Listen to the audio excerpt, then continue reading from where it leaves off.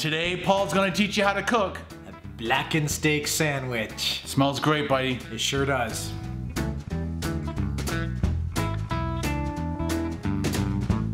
Okay, Paul, before we start, do you think we should start with a beer? Today we're only having one. So, Really? Yeah. Holy crap! That is a nice Grolsch, That's a nice beer. You ready to pour it? Mm. Yes, I am. Let's do it. Oh, oh I yeah. I think that's the coolest beer opening situation ever. Look at that. That is lovely. 1.5 liters. Yes. I feel like just chugging that down. What's a gallon? How much is it? A gallon's 3.78 Ah, okay. liters. So two of those would be a gallon. Uh, just over two of those. All right, you ready? I love Grolsch. Cheers, buddy. Cheers. One of my favorite beers. Let's start cooking.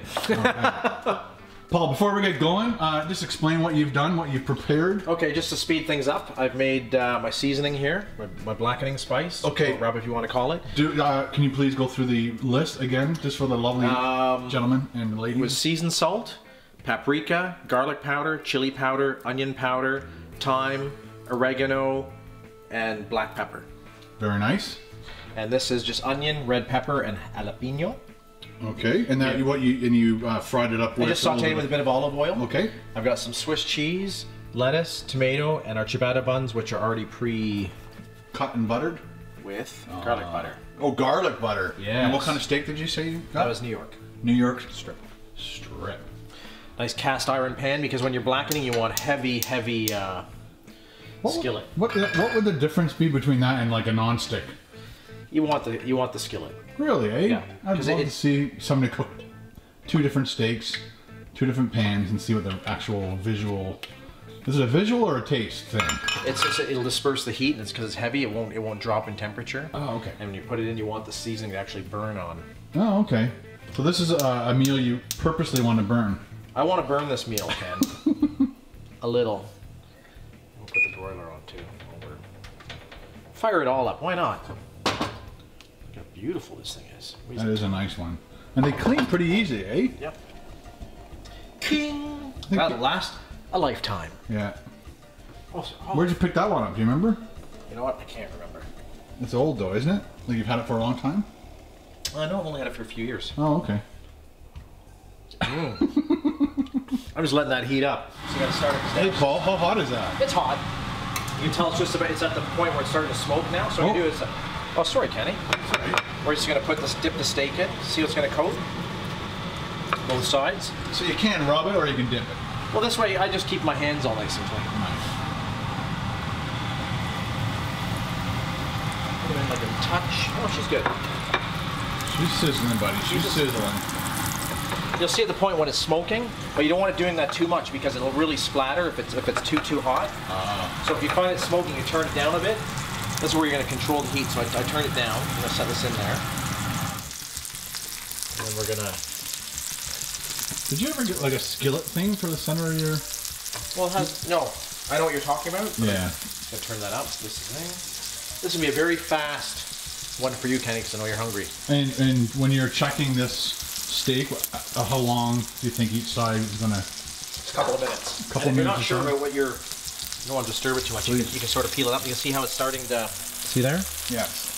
Another trick too is if you want um, high heat, you can burn the outside really quickly. The higher the heat, and keep it like if you want it nice and rare on the inside. If you don't like it too rare, cook it. At, turn the heat down a little bit, but you don't want it too low because you don't. You want this to burn a bit, and you can always set it on a, a pan and put it in the oven like at a lower temperature if you want it more well done. Ah, okay. Okay. So while that's doing that, we're gonna make a, a little sauce for this. With beer? Uh, we can if you want. so we're just gonna take this bold barbecue. It's a nice smoke. So, barbecue sauce and Hellmann's. Yeah. Okay. Oh. So what I'm doing is I'm toasting the bottoms first. Then I'm gonna, because the pan's smaller, so I'm gonna do the top while this is in the oven. So here we're just mixing our little sauce here. And that's all we're gonna do with this. That's it. That's all it. she needs. This will just give you a nice little smoke flavor. It's gonna go on the top of the bun. And not overkill it with just straight up smoke. So here- Smoked sauce. So Oh my gosh. Now you don't want to kill it. Like if, if it's actually Kill too the black. No, if it's yeah, it's uh, kill it on the skillet. Kill if it's too black, it'll be. You don't want a burnt, burnt taste, but you want a nice, nice flavor of the spice. It could be a little bit more uh, charred than that. Maybe just put it up. So if you find you haven't done it enough, or you want it darker, you give another click. I guess I'm still learning to know when that is 100% ready uh, to be eaten by somebody who might not want it rare or want it rare. These are pretty what- thin. It'll, Yeah. it'll be pretty quick. If I just take it off right now, it'd be a, it'd be a nice rare, and you can tell that just by by pushing out how soft that is. Oh, okay. So it's gonna be pretty soft in the center. Here is I'm gonna put the Oh boy. bottoms there. Oh, it's starting to spit. Oh yeah. Starting to spit, people. He's gonna spit on you, Kenny. No They're spitting spit- on you. No spitting on me, man. Put these in. Turn that down. So if you find the same thing, you see the steam, the smoke come up right away. It's a little bit hot. We'll just put it down. This one here, I'm just, I basically just put it on. It? I'm just reheating it, so we're putting. It's hot. Make sure I want the cheese to melt on nicely. It's gonna gonna be nice. broiler there. How do you want your steak done, anyways? Uh, same yours. You like yours medium rare? Blue. You like yours medium rare? I or? do. I do. Kind of figured. Oh, look at that. She's looking good. Mm-mm-mm. So I'm gonna char. I'm just gonna crank it up a bit. It char a little bit. You can call me Charmander. Charmander. We'll put it under the steak like that. Like that. double sausage. Oh yeah. Got a double sausage. Mm. Okay. You can see how it's see the blood coming through. See now we're at a nice medium rare now. Okay. Oh my god. Ladies and gentlemen, it smells so good right now. That off. I could just eat that as it is. Oh yeah. You want some extra jalapenos on there, Kenny? Sure, man.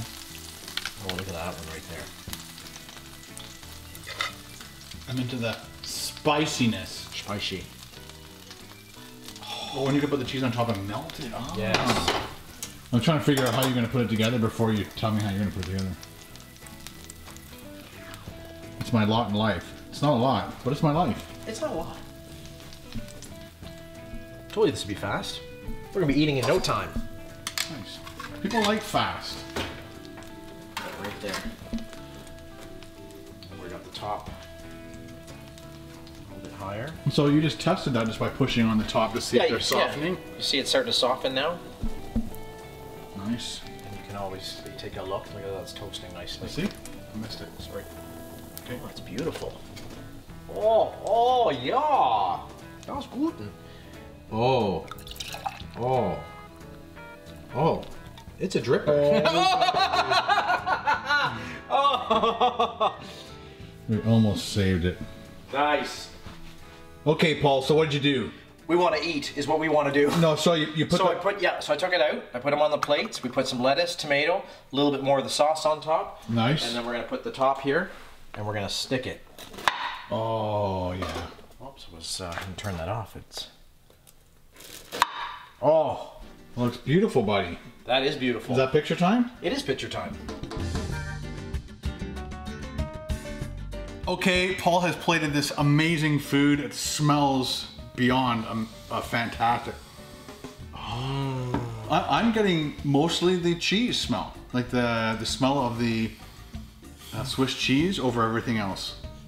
But I don't really care. I'm gonna eat everything anyway. Should I cut it in half or should I? Uh, I'm gonna go straight. do it. Oh, look at the, look! It's just like this is a messy meal. I think this is like a three napkin meal, buddy. Look how thick that is. Oh, it's beautiful. Check that out, ladies and gentlemen. Oh, what the hell? What happened? The camera's off. Uh oh.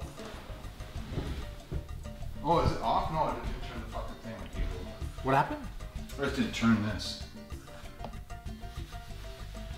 When I looked up, because I'm blinded by the light, it just looked like a blank screen. So we did get all what we just got. was blinded by The light. Okay. All right, ladies and gentlemen, check that out. Paul's going halvesies, halvesies. I'm going full on. Hmm. Oh, I got jalapeno on the first bite. It's a bit spicy. Mm-hmm. The mix of veggies on there, really nice.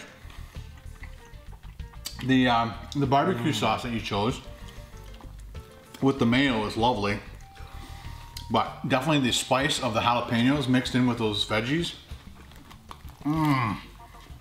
Mmm. And the bun. You know what I would have done? This is just my preference, guys. I would have mixed a bit of horseradish in with that. I love horseradish with beef. Mm. Me too. Because for some reason I'm tasting, I'm not sure if you guys ever been to Arby's, but they have a thing called horsey sauce. So it's basically mayonnaise and horseradish, but it's been blended so it's smooth like ketchup. So it's not like all granular, I guess, that horseradish is. But uh, put horsey sauce on that. Oh, mmm. That's the bomb. Yeah. I feel like we're in a race. I want to win. I think you are. Mm. Keep- Nobody is going to win a, a clean plate award today. Wow. Well, What about clean beer glass award? The spices Paul's used uh, for this rub is exceptional. Please look in the description of the video for the recipe for Paul's uh, blackened uh, pow- uh, what do you call it? Rub mix or Whoop. blackened Seasoning. seasonings for it. So check it out in the comments. I mean, in the, in the description, and uh, try it yourself. Let us know what you think of it. Um, again, take pictures. Paul and I are going to polish these off, and we'll be right back. Unless you have anything else to add at the moment. No, I don't think you do. You just want to eat. He's more hungry than I am. Okay, we'll be right back. As you can see, neither Paul or I get a clean plate award on this meal. That was fantastic. A lot of my stuff fell out as I was doing it, and I had to like scrape it up, That keep was, putting it uh, back on top. Yours actually is better than mine. Paul did some scraping with with his bun, I guess. I know I was I was at it. The steak was cooked perfectly. The spices that were on the steak, dynamite. Uh, I had a little bit more jalapenos on mine, so I was, I'm actually I'm actually sweating still. So it was quite spicy. I can feel the I got a burn around. So now you're getting the spice. Yeah. Uh, I'm not sure if, uh, well, definitely the rub that you had, uh, the spices had some uh, cayenne in it. no. Oh, I you- didn't put it in didn't? because I, cause I did the jalapenos. I didn't want to put heat and heat. Oh, okay. Because I thought you said when you made the rub. Usually, when I usually if I'm doing a rub and, I, and I'm not putting peppers, I'll put ca- I want to bring some heat into it, so I'll put a little bit of cayenne in there. So if you're gonna put peppers in it, minus the cayenne pepper. So that's a good lesson. Because I thought, because you gave us the recipe for that and you said cayenne. Or just don't put as much. But you can make a rub. You can make a rub super hot. I mean, I could have been Of course. a scorpion It would have been crazy. Oh, right, yeah. We'd be we'd be crying right now. yeah, we don't want to wreck another uh, Mm. another awesome meal like that. And the, the choice of bun was perfect. You know, you got these elongated steaks. Of. Choice course. of beer, excellent. choice of beer was amazing. The quantity was fabulous. Uh, but the the choice of bun, everything that you did, and the and the cheese. I like to have doubled up on the cheese, and Make I, it a little just drip out of there. and I'd like to have, like to have tried a little bit of the the horsey sauce on the side or some some uh, horseradish. What do you think? What do you, would you actually have tried that if I Yeah, said would be- yeah. put some horseradish Yeah, into that mix? good. Yep. Because horseradish and beef is just my favorite. It's funny that, that you, you're not keen on pickles, and I always find horseradish has that because it's No, sort of it's so different to me. The flavor and the texture. horseradish is yummy. Well, thank you very much, Paul, for dinner. that was great. Uh, don't forget, guys, if you enjoy these videos and you don't want to miss the next one, please hit the subscribe button. It is down over there. But if you love watching this video, help us out. Give us a thumbs up. Ding, ding, ding, ding, ding, ding, ding. ding. And we'll see you next time on another Ken and Paul Cooking Review. Ken and Paul out. Boop.